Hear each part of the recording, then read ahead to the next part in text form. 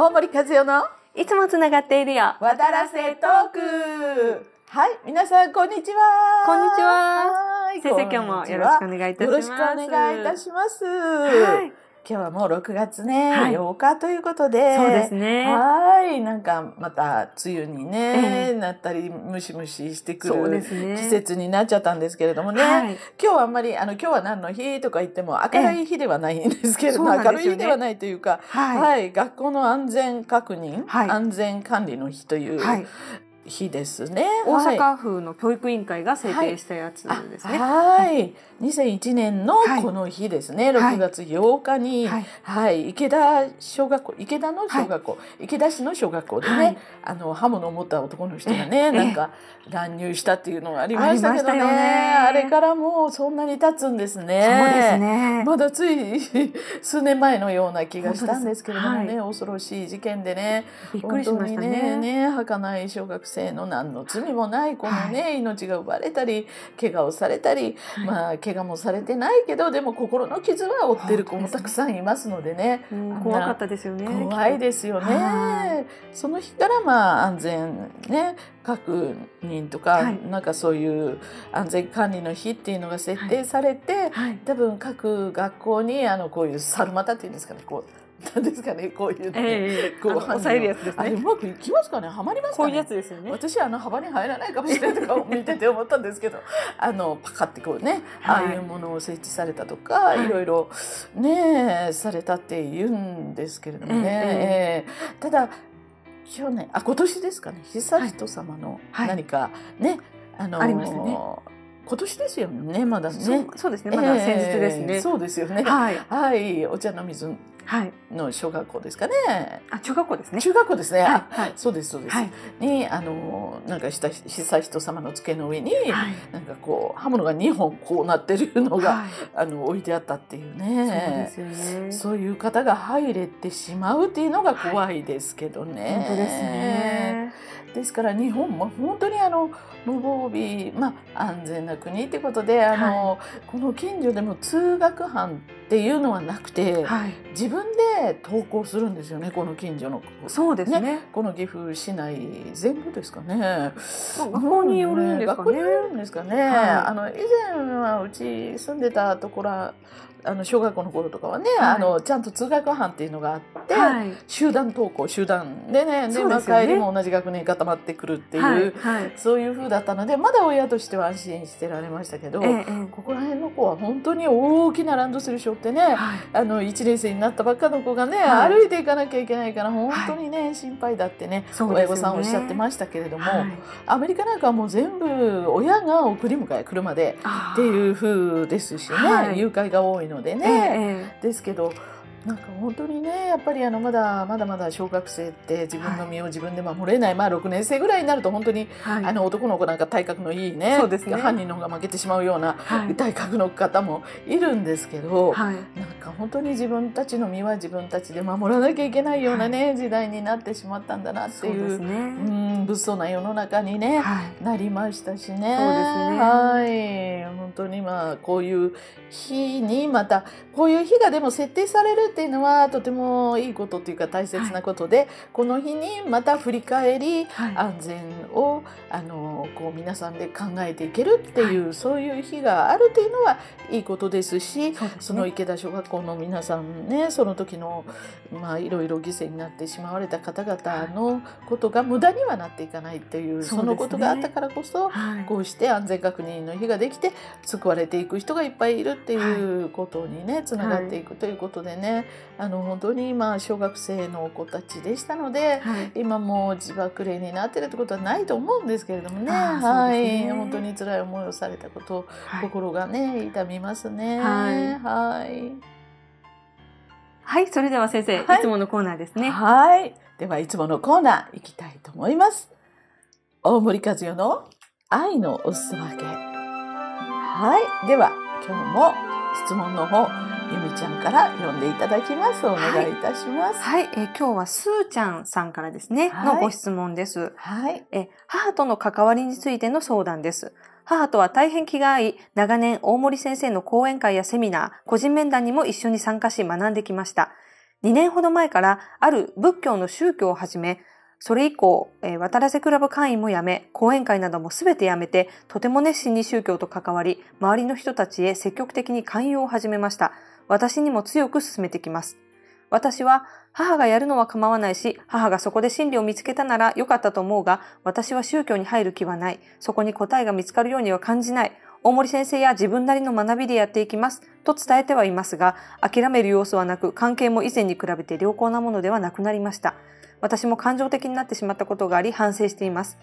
今の宗教に救いはない。誤った宗教を人に進めると罪になる。と学んできたので、母は大丈夫だろうか。と少し心配しているのと、断っても伝わらず、私の死ぬ前の最後の頼みなんだ、孫にも言ってほしいんだ、と強く進めてきて話の折り合いがつきません。この宗教は誤った宗教ではないのか、また母を断り続けることは、産み育ててくれた母を大切にしていないことになるのかのご相談です。というご相談ですね。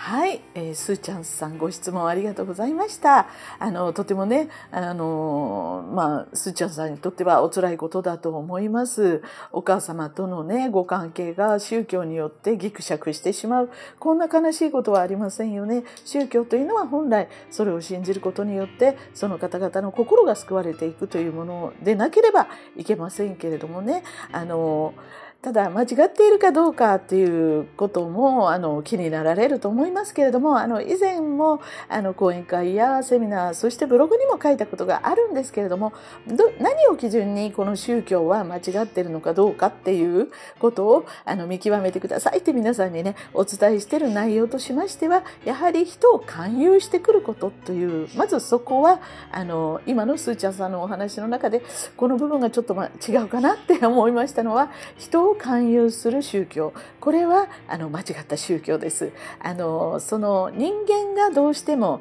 えー、やっているところというのは人を増やしていくという。そして人が増えてくれば例えばそのお一人の方がお支払いする、まあ、どれぐらいお支払いするのかわからないんですけれどもお布施みたいのがあるんですかね。そういうところもあると思いますのでそういうお布施みたいなものを1人当たりいくらとかねそういうふうになっていきますとやっぱりあのこう今現在巨大宗教なんて言われてるいろんなのがあるんですけれどもそういうところも人を勧誘しなさいとか人を勧誘したことであなたが良いところへ上がれるとかですねそういうことを言われたりしてあのあと立場が上がっていくとかですねその宗教団体の中でのあなたの立場が変わって上がっていくとか。であの家族がまだ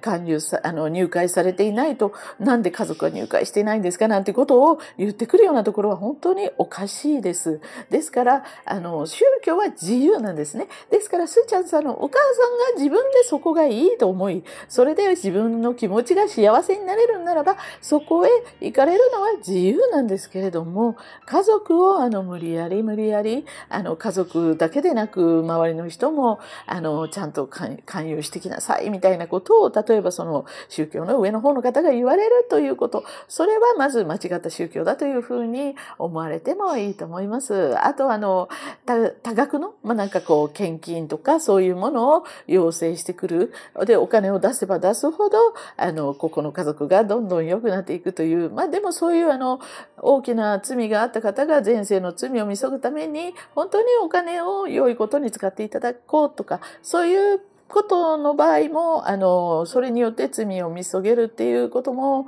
あることはあるんですけれども、そういうところからそれを強要されて出すものではないということですね。ですから、あの、スーちゃんさんは、まずお母様にきちっと向き合って、あの、私は申し訳ないけれども、そういう宗教組織に所属する気はありませんということをはっきり、まあ言っておられると思うんですけれども、で、私はお母さんと親子であるということは、ずっと、あの、この先も親子として仲良く付き合っていきたいんだということで、一切そういうお話をするのはやめようっていうお約束をされるのがいいんではないかなと思います。で、お母様今、あの、講演会とかもきっと嫌だと思ってらっしゃると思いますので、逆にすーちゃんさんも、あの、お母様との会話の中に、お母様もお母様の方の宗教の話は一切しない、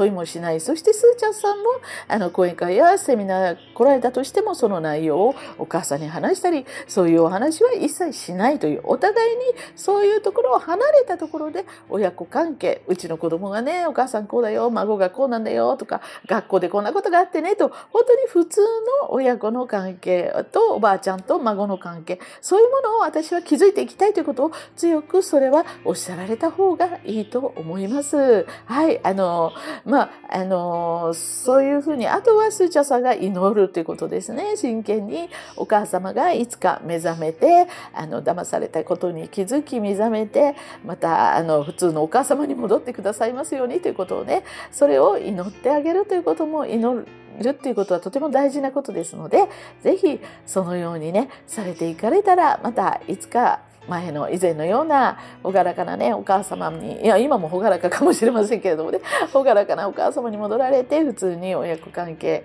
きちっとあのまた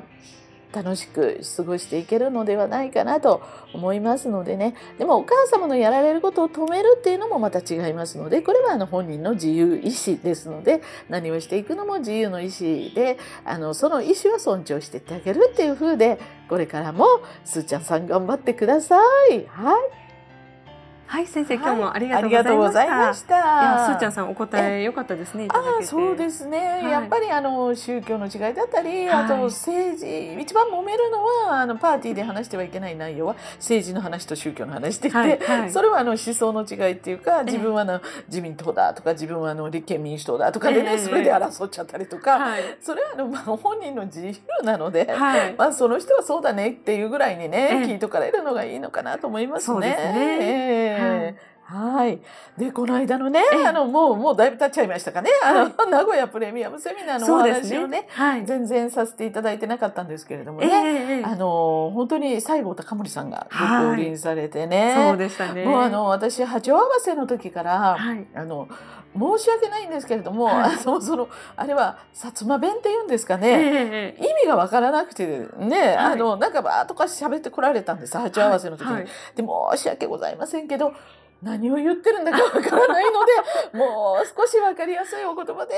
お話ししてくださいますでしょうかって申し上げたんですね。でそれとあとあの西郷さんは今は深海におられるんですけれども、深海でもそのお言葉をお使いですかってお伺いしたんですね。うん、でそしたらあのやはり西郷隆盛という肉体を持って生まれていた西郷の時が西郷隆盛なので、はい、そのイメージを崩してはいけないと思って西郷隆盛だった時の言葉で、はい、今一生懸命喋ってるんだっていうようなことを私におっしゃってこられて、はあ、で、ね、なんかその辺そんなようなことだったんででもそれにしてもあのもしこの言葉で会場で喋られたら皆さん、はい、なんかもうまあまあ神様降りてこられたんだけどなんかなんかわーっと喋って終わっちゃったっていうようになってしまうので、はい、もうちょっと分かりやすい言葉でって、えー、なんか何回もお願いさせていただいてそ、ね、れであのかなりあれはあの薩摩弁が抜けた状態でお話ししてくださったと思うんですけれども、でもそれでもブログのコメントに、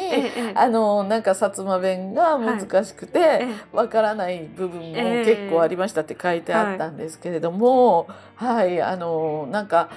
ね日蓮まあ日蓮様も結構まあ言葉が、あのあれですかね特徴あられるお言葉でしたよね。はい、そうですね。あと空海様もうんなんか語尾がちょっとこう特徴あったりとか、はい、あと聖徳太子様もなんかすごく大和言葉っていうんですかね、はい、ああいうお言葉で、はい、まあ雅やかなお言葉というか、そういうお言葉でしたしね、それぞれのやはりその人間肉体を持っていた時のそのイメージをなんか人間たちのイメージを崩してはいけないという神様の思いがあられるようでその今も深海であの言葉で喋っているわけではないとおっしゃられましたね。そうですはい、えー、なのでででも逆にあのそういう方言的なあそこまで多分方言的なお言葉でお話しされた神様は初めてだったのかなと思いましてね。ね。あのですからすごく皆さんも人間味があったっていう、はい。はい、うん、人間味を感じたっていうね、はい、方が多かったもんですからね。はい、今なんか急に電気がつかないって言ってたのが急についたんですけどなんか西郷さんが来られたんでしょうか。びっく びっくりしましたね。電気つかないって言ってたんですよ、ね、電気壊れたって言ってたのに、なんか急にライトがついたんで。誰もいないのに。さっきは上でコンコンってノックされましたしね。はい、本当にね、この電気壊れてたんですけどね、はい急にいくら触っていただいても、どこをスイッチ触っても。そうです。さっきね、はい国はい本プロデューサー一生懸命やったんですけど、つかなくて諦めて後で分解しましょうって言ってたんですけど、パカッとつけましたね。きっと西郷さんが踏んでくださったんですかね。踏むとつくタイプなんですけどね。こんでもこんな音しないですもんね。えーそうそう。今絶対誰か踏んだ音ですよね。そうですそうですそうですカッチャンってついたんです。びっくり。もうお姿は見えないんですけどね。はいはいでも透明の状態で現れる方も。すごいですね。こすごいれも。ですね。またお会いしたいですね。西郷さんにね、まあここにお見えになると思って喋ってあ、そうですね。ぜひまたお会いしたいです。はい、皆さん、本当びっくりしました。はいびっくりしましたじゃあまたあの明日は大阪スペシャルセミナーでお会いしましょう。はいお待ちしてます。はい、ではまた来週お会いしましょう。See you next week. Bye.